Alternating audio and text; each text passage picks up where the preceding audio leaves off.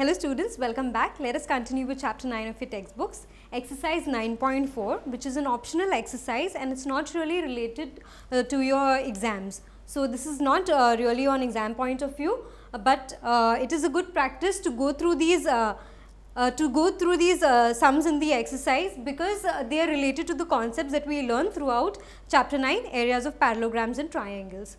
So here the first question we've been given uh, two quadrilaterals one of which is a parallelogram and one is a rectangle on the same base AB.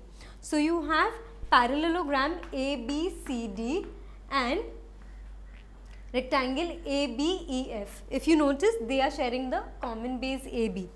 Also it is given that the areas of the two the parallelogram and the rectangle are equal. So area of ABCD parallelogram ABCD is equal to area of rectangle ABEF.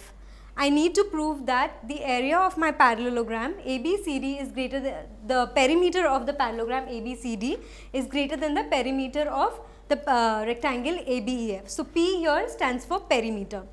So, how, first of all what do we know about the perimeter? Perimeter is the sum of all the sides. For example, let us say this is a big ground on which you start to jog. You start at point A when you start running from point A, run throughout this entire path, this circular track and again reach point A, the distance covered by you is the perimeter. Similarly, for your rectangle, here the perimeter if you start let us say from point A, it would be the sum of AB plus BC plus CD plus DA. So, when you start from here and you reach here. This is your starting point. So now you need to prove that the perimeters of the uh, uh, perimeter of the parallelogram is greater than the perimeter of the rectangle. How do you do that? It's a very simple concept. We are going to compare the opposite sides of the parallelograms and the rectangle. Why? Because we know that the opposite sides of rectangle are equal and uh, opposite sides of the parallelograms are equal. So now if you notice, let's check for the length length is going to be AB and DC for your parallelogram ABCD and it's going to be AB and EF for your rectangle. Let's go ahead and compare. You will see how to solve this question. I'll say proof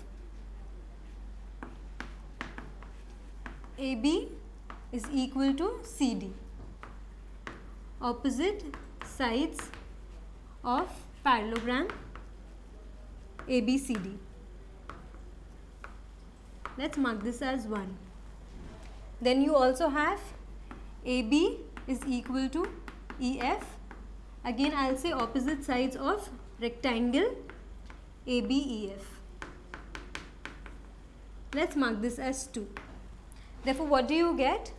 Therefore, CD is equal to EF.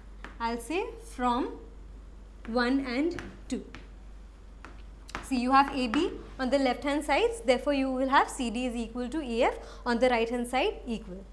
Now, see CD is the length for your parallelogram, one side and EF is the length for your rectangle, right. Now, I need to make the sum of the lengths of the parallelogram and rectangles. That is why what I am going to do is add AB to both sides. So, I will say add AB to both sides what do you get? AB plus CD is equal to AB plus EF. So, what do you get? The sum of the lengths of your parallelogram is equal to the sum of the length of your rectangle. So, when you compare the sum of the lengths of your parallelogram and rectangle, they are equal. So, obviously, we will now proceed with the breadths. Okay? So, that is the sum of the pair of opposite, uh, the other opposite sides of your parallelogram. Now, what do we know for a right angle triangle? Let us say I have a right angle triangle PQR which has a right angle at R. What have we learned for a right angle triangle? That the hypotenuse is the greatest side in a right angle triangle, right? So, if you notice this triangle out here, CEB, you have CB is greater than EB. That means one side of your parallelogram is greater than the other side of your rectangle. Similarly, here DA is greater than EA. Let's write this down. We know that the hypotenuse is greatest side in a right angled triangle correct? Therefore in triangle CEB what do I have? I have CB greater than EB I'll mark this as let's mark this as 3 let's mark this as 4 similarly in triangle so which is the other triangle DEA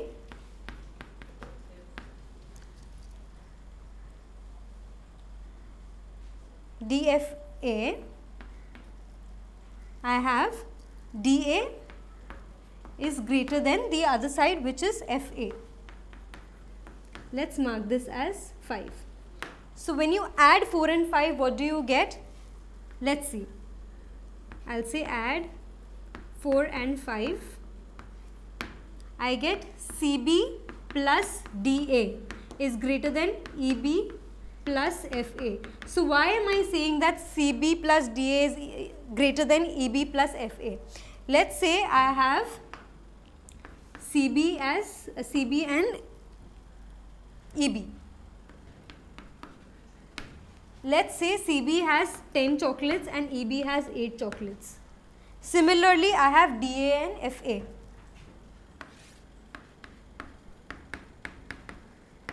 okay and I'll say DA has 5 chocolates and FA has 1 chocolates. When I add these two chocolates CB and DA what do I get 5 plus 10 CB plus DA is 5 plus 10 which is 15. Similarly when I add EB and FA I get 8 plus 1 which is 9. So you notice when you have two greater than sides over here and you add these you will get the same greater than sign for this. So, CB plus DA is greater than EB plus FA. So, but what is CB plus DA? CB plus DA is the opposite side of your parallelogram. So, in your parallelogram and your rectangle and see EB plus FA, EB plus FA, they are the opposite sides of your rectangle. So, what can you see? That for the parallelogram and the rectangle on the same basis, you have the lengths equal, but their breadths or the breadth of the parallelogram is more than the breadth of the rectangle, the sum of the breadths of the rectangle, right. So, I will mark this as now 6. So, let us add 3 and 6.